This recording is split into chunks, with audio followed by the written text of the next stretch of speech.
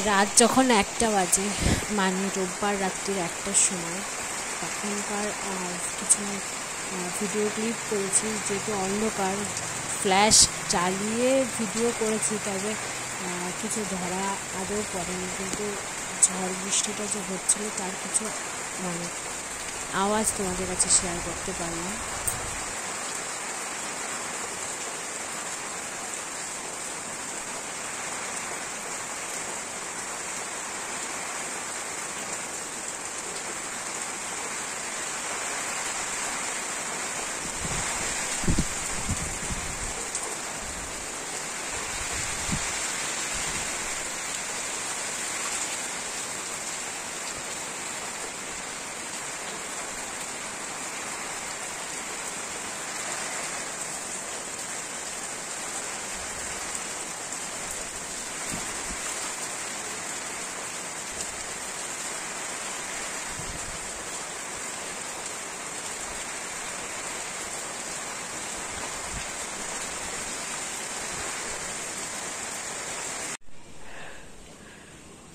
তো দেখো বন্ধুরা, কি অবস্থা?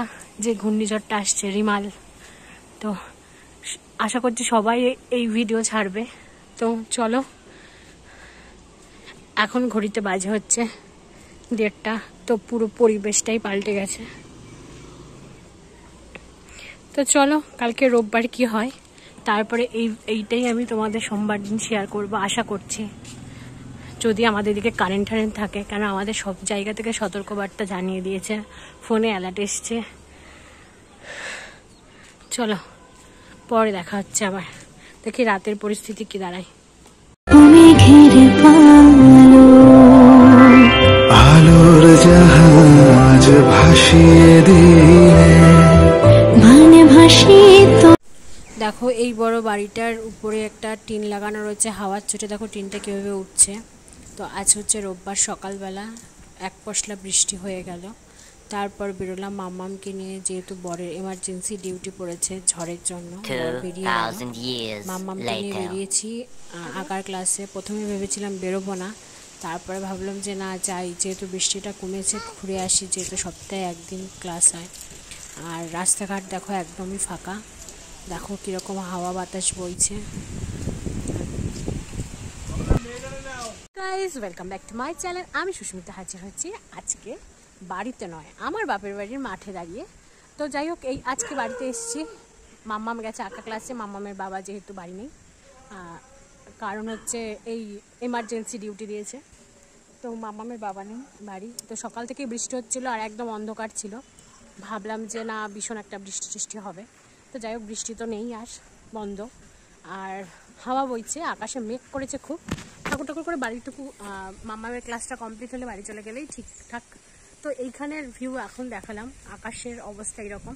আর যদি পারি তো কালকের ভিডিও অবশ্যই করে দেবো। যদি কিছু ক্ষয়ক্ষতি হয় নিশ্চয়ই তোমাদেরকে জানাব। আগের দিন দেখিয়েছিলাম আমাদের বাড়িতে তো তারপরে যখন আসলাম তখন বাড়িতে কয়েকটা গাছ বিক্রি করে দেওয়া হয়েছিল। কারণ এই যে ঝড় ঠড় হবে জেনে বিক্রি করে দেওয়া হয়েছিল নাহলে ভেঙে গা- ঘরে পড়তে পারে। আর অনেক দিন আগের বাড়ি তো প্রায় কুড়ি পঁচিশ বছরের উপরে বাড়ি। প্রায় ধরো তিরিশ পঁয়ত্রিশ বছর হয়ে গেছে আমাদের নতুন বাড়িটা নয়, পুরনো ঘরটা। তো সেক্ষেত্রে ভেঙে চুরে যাওয়ার একটা ভয় থাকে বলে ওটাকে ভেঙে দেওয়া হয়েছিল। তো দেখো, আজকে তোমাদেরকে মাঠটা দেখাচ্ছি। আমার বাড়ির পাশে যে লাগোয়া মাঠ, আজকে আমি কোনোদিনও ডেট মেনশন করি না ভিডিওতে। কারণ কবে ভিডিওটা ছাড়তে পারব সেই কারণে আমি ডেট মেনশন করতে পারি না। বাট আজকে ডেটটা মেনশন করছি, আজকে হচ্ছে পঁচিশ তারিখ, পঁচিশে। তো যাই হোক দেখো, আজকের অবস্থা। আজকে পঁচিশে মে, তো দেখো আকাশ টাকাশের কী অবস্থা। আর ভীষণ হাওয়া দিচ্ছে। মেয়ে যেহেতু আঁকা ক্লাসে এসছে বলে আমি বাপের বাড়িতে এসছি। তো দেখো কীরকম করে হাওয়া দি, হাওয়া বইছে। আর সকাল থেকে বৃষ্টি হচ্ছিল বাট মানে সাড়ে আটটার পর থেকে বৃষ্টিটা বন্ধ হয়েছে, কিন্তু হাওয়া কিন্তু বেশ ভালোই বইছে। দেখো ঘাস এখনও ভেজা। তো চলো এখনও পর্যন্ত এখানের পরিস্থিতি এইরকম। ঝড় হচ্ছে হালকা হালকা ঝড় বলতে হাওয়া হচ্ছে। বেশ ভালো লাগছে ওয়েদারটা কিন্তু ঠান্ডা হয়নি। আর দেখো আকাশটার অবস্থা।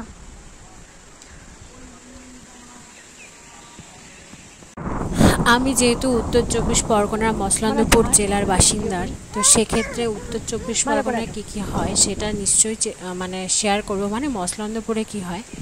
তো দেখো সকাল থেকেই মোটামুটি এক পশলা বৃষ্টি হয়ে গেল। তারপরে দেখো এরকম ঝোড়ো হাওয়া দিচ্ছে। আমফানের সময় যেরকম হয়েছিল, এক টানা ঝোড়ো বৃষ্টি আর ঝড় ছিল। তো এ- এদিকে এই ক্ষেত্রে দেখা যায় যে বৃষ্টিটা হলো এক এক পশলা বৃষ্টি হলো, কিন্তু তারপরে আবার ঝড় হলো, ঝড় হচ্ছে, আবার কমছে, আবার ঝড় হচ্ছে, এরকমভাবে চলছে। তো যাই হোক, বাড়ি চলে আসার পর, বাড়ি চলে আসার পর তারপর গিয়ে আমি বাড়ির থেকে দেখাচ্ছি। তো দুপুর থেকেই ভালো মেঘ করেছে। রোববার দুপুরবেলা থেকেই বেশ ঘন মেঘ করে চলে, মেঘ করেছে। তো দেখো, তারপর বিকেলবেলাতেও এলাম ছাদে।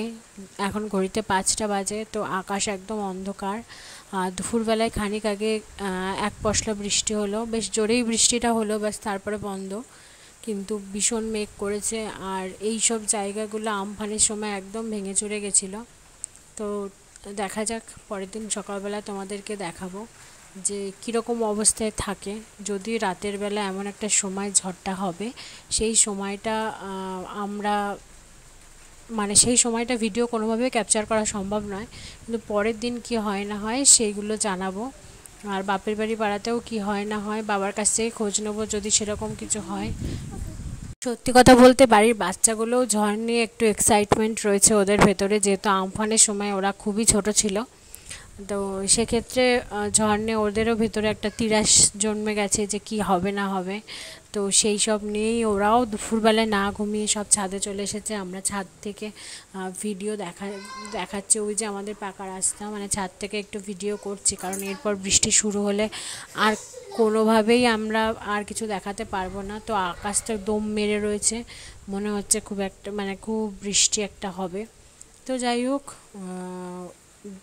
পরের দিন যেটা জানতে পেরেছিলাম যে দেখো এখনও কীরকম ঝোড়ো হাওয়া দিচ্ছে, নারকেল গাছগুলোকে দেখলে খুব কষ্ট হয় আর যেগুলো একদম লম্বা লম্বা সেগুলো দেখলে তো আরও বেশি কষ্ট হয়। যাই হোক, ভেঙে চুরে যাওয়ার একটা ভয় থাকে।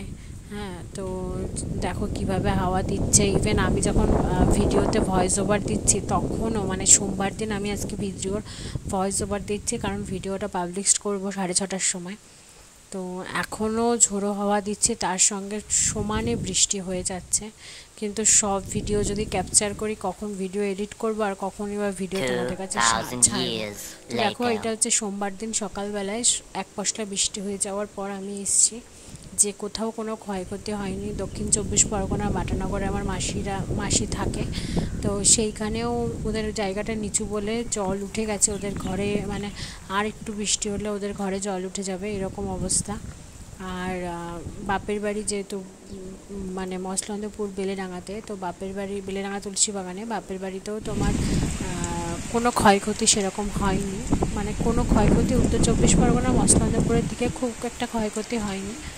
আর যেসব গাছপালাগুলো কালকে তোমাদেরকে দেখিয়েছিলাম, লাগোয়া যে এগুলো ঝড় বৃষ্টি হলে ভেঙে যাওয়ার ভয় থাকবে, তো সেইগুলোর কা- কোনো কিছুই কিছু হয় না তো ডালপালা একটু মানে যেগুলো হালকা পাতলা সেগুলো নুয়ে গেছে, ভেঙে গেছে, এরকম হালকা পাতলা হয়েছে। মানে যে আমফান থাকতে যে টিনের চাল, ঢাল উড়ে চড়ে গেছিল, এই বাড়ির চাল ওই বাড়ি থেকে পড়েছিল, সেই সব জিনিসগুলো আমাদের এখনও পর্যন্ত হয়নি। তবে ঝড় হচ্ছে, বৃষ্টি হচ্ছে সমানে চলছে। এই আমি রেমাল শুরু হওয়ার আগে থেকে এবং রেমাল হয়ে যাওয়ার পর পর্যন্ত যতটা ভিডিও ক্যাপচার করতে পেরেছি তোমাদের কাছে শেয়ার করলাম। আশা করছি ভিডিওটা তোমাদের কেমন লাগবে জানি না, ভালো লাগলে অবশ্যই লাইক শেয়ার আর চ্যানেলটা সাবস্ক্রাইব করে আমার পাশে থেকো। এখনের মতো বিদায় জানাচ্ছি। এখানে আজকের ভিডিওতে আমার আর কিছু বলার নেই। তো নতুন ভিডিওর জন্য অপেক্ষা করো তোমরা।